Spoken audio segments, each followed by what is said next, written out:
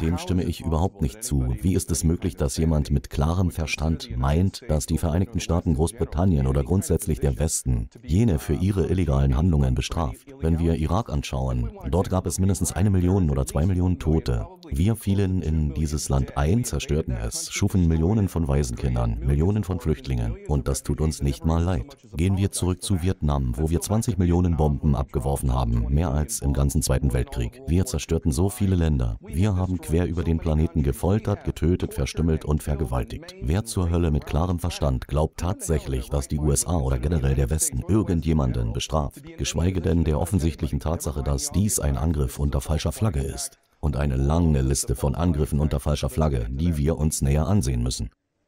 Wir arbeiten nicht nach internationalem Gesetz. Was wir haben, ist das Gesetz des Dschungels, wo die Reichen und Mächtigen bestimmen, wo es lang geht. Irak ist ein perfektes Beispiel dafür. Warum verrotten Tony Blair und George Bush für den Rest ihres Lebens nicht in der Gefängniszelle? Weil das Gesetz nicht angewendet wird. Sie sind Kriegsverbrecher und sollten für den Rest ihres Lebens hinter Gittern, wenn nicht gar exekutiert werden, da ihre eigenen Gesetze auch für ihre eigenen Verbrechen gelten sollten. Und nicht nur das, sondern wir müssen hier wirklich die Wahrheit verstehen. Erstens einmal, all diese Spieler, diese Politiker sind nichts weiter als Marionetten. Eliten. Sie dienen nicht den Menschen. Es gibt keine echte Demokratie. Sie dienen ausschließlich den Reichen, den Mächtigen, die die Welt beherrschen. Und da sind die Banker, die die Geldversorgung kontrollieren. Natürlich nehmen die Banker eine riesige Menge Geld ein. Egal, ob sie schlechte Investitionen tätigen oder nicht. Kriege sind großartig für sie. Und schließlich kontrollieren sie die Politiker. Und deshalb haben wir diese Politik. Obama und Cameron sind nichts weiter als Marionetten, die das Skript lesen. Und im Skript heißt es, wir brauchen einen weiteren Krieg. Und der Grund, warum wir einen weiteren Krieg brauchen, laut diesen Psychopathen, die die Welt beherrschen, ist, weil immer mehr Menschen aufwachen, abgesehen von den planlosen Massen, die weiterhin in Trance bleiben, durch so lächerliche Dinge wie X-Factor und American Idol. Eine immer größer werdende Anzahl von Menschen überall auf der Welt erkennt die Wahrheit und fängt wieder an, selbst zu denken. Und sie können sehen, dass solche Leute in Positionen der öffentlichen Treuhand ihr Vertrauen missbrauchen und eine Agenda vertreten, über die sie nie öffentlich sprechen können, weil sie nichts weiter als Prostituierte, nichts weiter als Gefolgsleute für die Mächtigen sind.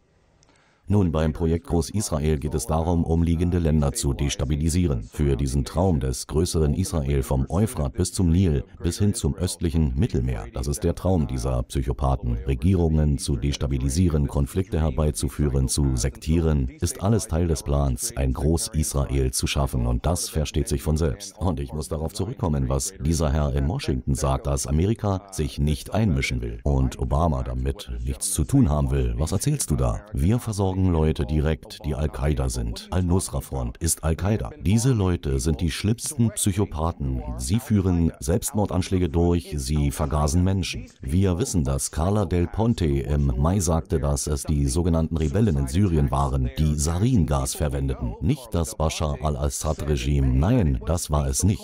Wir wissen, dass der Präsident der Vereinigten Staaten Leute bewaffnet, die auf der US-Terroristenliste stehen. Er sollte wegen Beihilfe zur materiellen Versorgung einer Terroristenorganisation angeklagt werden. Aber andererseits sind wir es, wir, der Westen, besonders die Vereinigten Staaten, Israel und Großbritannien, die größten Terroristen auf diesem Planeten. Und unsere kleinen Juniorpartner und Al-Qaida, was nichts weiter als eine CIA-Datenbank ist. Deshalb der Name Al-CIA. Das ist nichts weiter als eine Terroristengruppe, die zusammenarbeitet und jeder davon spielt eine unterschiedliche Rolle. Aber alle arbeiten für das gleiche Ziel, diese scheußliche, kranke, verdrehte verdrehte und ungerechte Welt aufrechtzuerhalten. Und zwar durch ständige Kriegsführung, immer eine Illusion, ein schwarzer Mann nach dem anderen. Aber die Tatsache ist, dass Obama nichts weiter als ein Marionettenkriegsverbrecher ist, genau wie seine Vorgänger und jeder andere US-Präsident vor ihm. Also bitte, sag unseren Leuten nicht, dass Amerika nicht involviert ist. Sie sind direkt involviert und versorgen Leute mit Waffen, die absolute Psychopathen sind.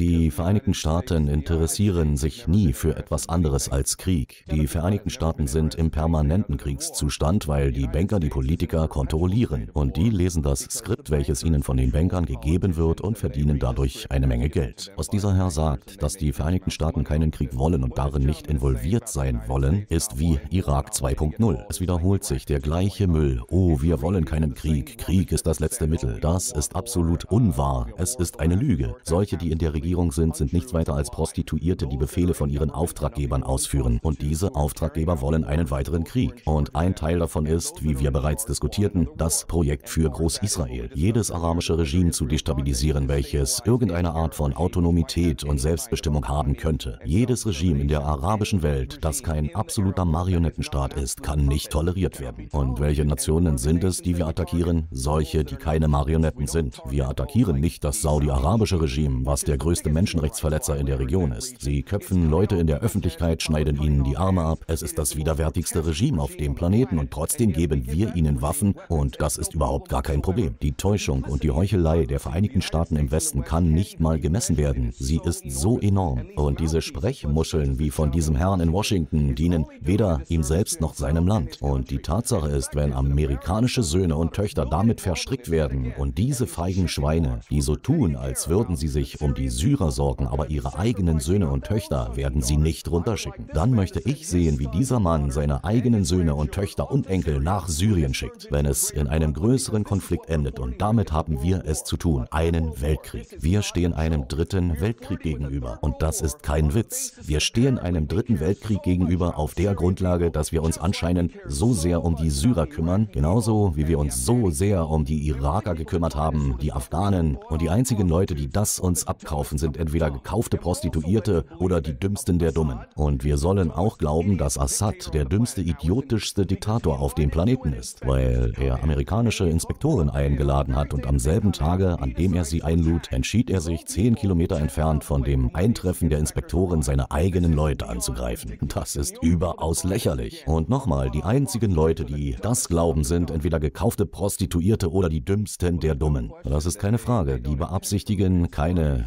limitierten Anschläge. Das bringt ihnen nichts. Die wollen einen Großangriff. Das ist der Plan und natürlich finden sie einen Vorwand, um den ersten Angriff zu rechtfertigen. Und dann schaffen sie Dinge und Gründe, mit denen sie eine größere Beteiligung rechtfertigen können. Die Daily Mail berichtete hier in Großbritannien und jene, die aufmerksam sind, verstehen es, dass Waffenlieferanten geleakte Mails von Waffenlieferanten beweisen, dass es einen genehmigten Plan von Obama gibt, diesen psychopathischen Terroristen Al-Nusra-Front chemische Waffen zu geben. Wir wissen, dass von der Al-Nusra-Front zwölf Personen mit zwei Kilo Saringas in der Türkei gestellt wurden. Wo haben sie das her? Das ist ganz klar eine False Flag. Schauen Sie, wir wissen, dass das stimmt. Und nur so können sie überhaupt einen Angriff rechtfertigen. Und es freut mich, dass der Herr in Washington Dempsey erwähnte, General Dempsey, der US-Armee-Vorsitzender der Joint Chiefs. Und ich sage Ihnen eins, denn mehr als alles andere, es sind die wahren amerikanischen Patrioten, die es satt haben, ihre Leben aufgegeben zu haben, dem amerikanischen Traum zu dienen, der amerikanischen Nation, der amerikanischen Verfassung, der sie ewige Treue schworen. Es sind diese, die Militärmänner und Frauen. Jetzt seid ihr es. Es kommt jetzt zu euch. Bist du ein Patriot oder bist du es nicht? Erlaubst du deiner Nation, dass sie noch weiter ins Chaos und in die Korruption versinkt? Sie ist so krank und so verzehrt worden und zerstört das amerikanische Leben sowie das auf der restlichen Welt. Und es gibt täglich bis zu 22 Militärdienstleistende, die Selbstmord begehen. Werdet ihr noch mehr eure amerikanischen Söhne und Töchter opfern? Für